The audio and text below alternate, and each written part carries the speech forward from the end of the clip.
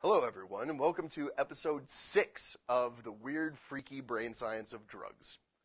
For those of you that have followed along this far, that's really impressive. You are invested. But for those of you who have not seen episode one yet, I would encourage you to please close this video and go to episode one. Watch that first before the remaining episodes. So today's weird, freaky brain chemical is called anandamide. Ananda is the Sanskrit word for bliss. The guy who discovered this thought that he discovered the bliss molecule. And that makes a lot of sense to me. So,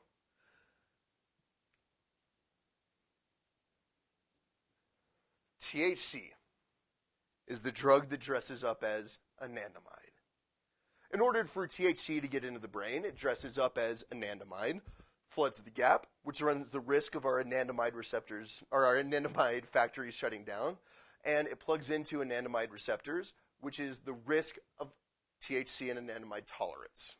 We know these three things. But what does anandamide do? What does it feel like? So, based on what you may have heard from other people, what does it feel like to get stoned?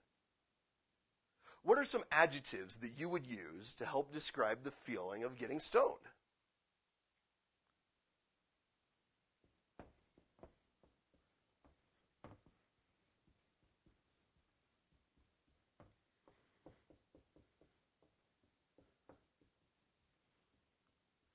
The adjectives that you just thought of are probably something like this feeling blissful, feeling relaxed, feeling chill. And then 20 minutes la- later, getting the munchies. Right? Anandamide has a few stages of life where it's crucially important. Other than these few stages of life, we don't have a huge need for big doses of anandamide. So if we think of our brain on an evolutionary time scale and we go back to the days of monkeys, there are a few things that monkeys like to do. They like to swing through the trees. They like to eat their bananas and berries. They like to groom each other. They like to make new monkeys. And so now Monkey Mama's pregnant. Now that Monkey Mama is pregnant, if she were to t- spend her days swinging through the trees, the nutrition that she's getting from her bananas and berries would be going right to her muscles instead of to her perfect little parasite. So now her brain is flooding her with anandamide so that she can be blissful about being relaxed and chill and hanging out at the base of the tree so that monkey daddy brings her bananas and berries. And every 20 minutes she's getting hungry so that little monkey baby has the chance to thrive. Now we zoom to any hospital in Colorado today. Baby's born. Baby's born screaming and crying and freaking out in ultra panic mode and doesn't yet have the ability to trust that their next meal is coming. What is baby's first pleasurable experience? Latching on. Breastfeeding. Baby was screaming and crying and freaking out. How does baby look now? Blissful and relaxed and chill. And 20 minutes later, baby's crying again because baby's hungry, right? This anandamide really helps us develop in utero and as infants. There, anandamide can be found in breast milk, and there are even studies to suggest that uh, the anandamide can be released, can be triggered by the act of suckling. So a baby fed formula from a bottle even has the chance to experience the stonedness of anandamide. Now, there are evolutionary biologists who believe that anandamide is one of the reasons that mammals have become so successful, right? That we as humans have become so successful because shrimp don't get pregnant and don't get anandamide. And iguanas don't get pregnant and don't get anandamide. And blue jays don't get pregnant and don't get anandamide. It's just us weird, freaky mammals that get pregnant and get anandamide. There's an amazing relationship between anandamide and pregnancy. For some reason, the human body interprets anandamide to be a female hormone. So, if a male hormone and a female hormone are battling it out, who's going to win?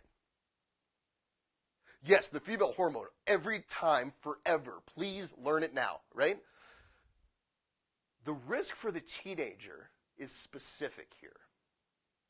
The risk for the teenager during this awkward, strange developmental period called puberty, if we're ingesting something that is dressing up as a female hormone, and the female hormone and the male hormone are competing with each other, and the male hormone loses, what can that do to a young man who's experiencing puberty? It runs the risk of that puberty just being stunted, right? What about for the young lady? When does a young lady need the highest levels of female hormone? And if this young lady is experiencing higher levels of female hormone for the other 28 days, what is she going to experience? What we see is people being ultra mega cranky so much of the time. There's a risk for the teenager, but the risk for the teenager can get a lot deeper than this.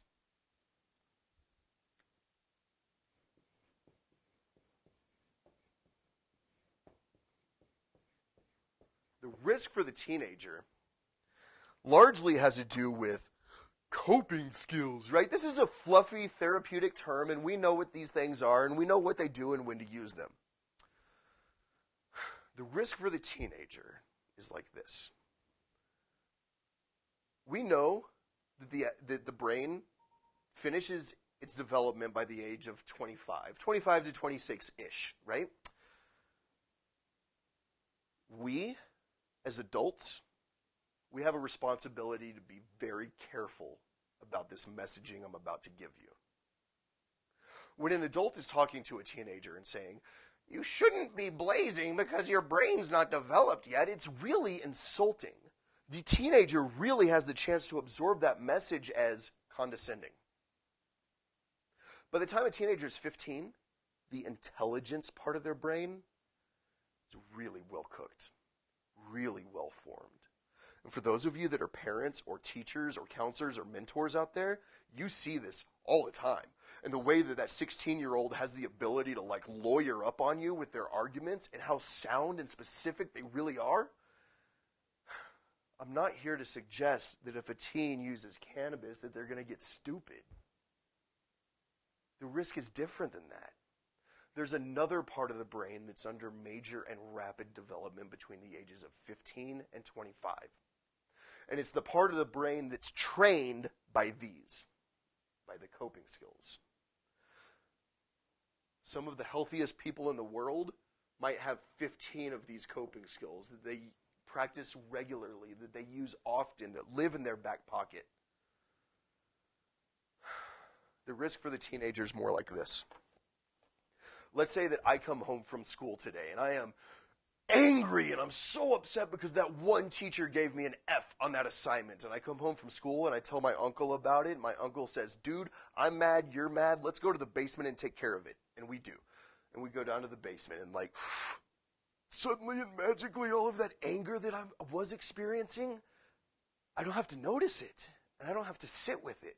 And it's not a part of me, it's a part from me briefly. And I'm coping with it. And it's so much less work than actually going to soccer practice or talking to a trusted friend or writing in my journal or writing a song or seeking a mentor or talking to a therapist or any of the thousand things that I could do to cope with this in a sustainable way. And then the next week, I come home from school and I'm feeling sad and lonely and rejected because he said no to prom. And I come home from school and I tell my cousin about it. My cousin's like, dude, I'm sad, you're sad. Let's go to the basement and take care of it. And we do. We go to the basement and suddenly and magically all of that loneliness and rejection that I was experiencing, I don't have to notice it. And I don't have to sit with it. And it's not a part of me, it's a part from me briefly, and I'm coping with it. And now I'm training that part of my brain to understand that this is the quickest and easiest way to cope and it runs the risk of becoming my favorite coping skill. And it runs, if it becomes my favorite coping skill, it runs the risk of becoming my one and only coping skill. If someone finds themselves in a position of having one coping skill, their relationship with that coping skill is a relationship of dependence. It's like saying, without that one thing, without that thing that lives outside of me, without that one coping strategy, I am useless. This is moot. I literally can't even. Someone finds themselves in a position of having one coping skill, then this is no longer a drug talk. If someone finds themselves in a position of having one coping skill, their relationship to that coping skill is a relationship of dependence. And this is no longer a drug talk this one coping skill could be anything. It could be an unhealthy relationship with a bucket of KFC, or an unhealthy relationship with my Xbox, or an unhealthy relationship with unhealthy relationships, or an unhealthy relationship with cutting and self harm in a razor blade, or an unhealthy relationship with substances, including alcohol. And if someone finds themselves in a position of having one coping skill, they're in a position of dependence. Between the ages of 15 and 25, the primary duty of the teenager should be to be a collector of coping skills. I give this presentation often in high schools. And every time I give it, I assume that there's someone that hears it that says, Hey, Colt, I appreciate all of this info, but substances are my destiny. And I'm to be using. And I promise you that I respect that. But I ask all of our teens to consider two magic numbers before they make the choice to use. And the first magic number is 21. And if we're talking about drugs, why is 21 a magic number? At least here in Colorado, when someone turns 21, on their 21st birthday, they suddenly and magically now have the right to make that choice. As long as someone's using responsibly and they're 21 or older, they have the right to make that choice. And as long as they're using responsibly, they can drink and blaze all day and all night and nobody can say anything about it. As long as that person is using responsibly, they can pour Jack Daniels on their breakfast cannabis nuggets and nobody can say anything. But I have to say, as long as they're using responsibly. And I have to say it that way because we have figured out that it's cheaper, it's more cost effective, it's more affordable for a person to charter a helicopter, and a pilot for the average rate of $1,600 an hour.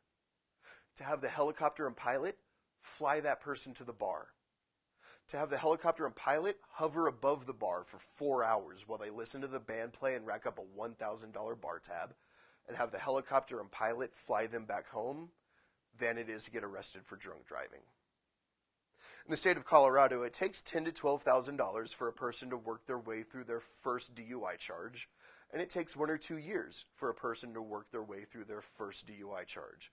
And during that period of time, while that person is working their way through their DUI charge, that person's right to choose if they're going to drink or blaze is taken from them, and they don't have the right to make that choice. So, as long as someone waits until they're 21, the consequences just change, as long as they're using responsibly but I will get on my hands and knees and I will beg all day and night for the teenager that is actually considering substance use to wait until they're 25. We talked about how the brain's fully developed at 25, and between the ages of 15 and 25, this part of the brain's under major, crazy, rapid development.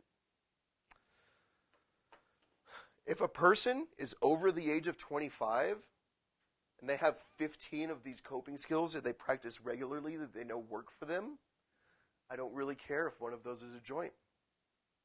And I don't really care because if that person gets onto an airplane and they start having a full blown panic attack and they can't whip out their bong to treat their anxiety, there's 14 others that live in that person's back pocket that they practice regularly. They're going to help soothe that person during the flight. I'm not really concerned about that person. If someone can wait until they're 25 for their first use, their chances of unlocking the disease of addiction or unlocking a substance use disorder drastically drop. Not to zero, but drastically drop. The risk for the teenager is different. I'm grateful for your time, folks.